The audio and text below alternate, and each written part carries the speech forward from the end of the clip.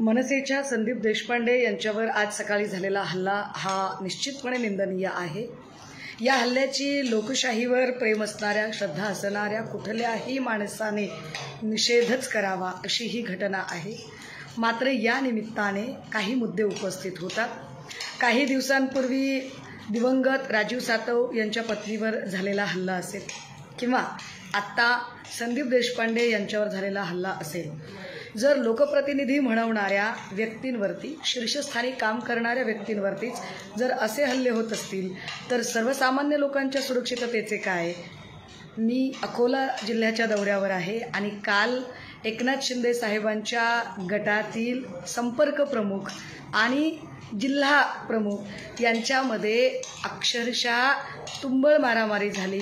संपर्क प्रमुखाने जिल्हा प्रमुखाच्याच जीवावर बेतणारा प्राणघातक हल्ला केला. दिवसाढवळ्या जर असे हल्ले होत असतील तर याचा अर्थ कायदा सुव्यवस्थेचे बारा वाजलेले आहेत. गृहमंत्री म्हणून देवेंद्र फडणवीस साहेबांची पकड ढिली होत आहे का याचासुद्धा विचार करण्याची गरज आहे. आम्हाला असं वाटतं की या सगळ्याच हल्ल्यांच्या निमित्ताने एकूणच या राज्यातील कायदा सुव्यवस्थेचा प्रश्न पुन्हा एकदा ऐरणीवर येत आहे आणि याला सर्वस्वी जबाबदार हे गृहमंत्री असणारे देवेंद्र फडणवीस जे आहेत. ह्याचा विचार झाला पाहिजे.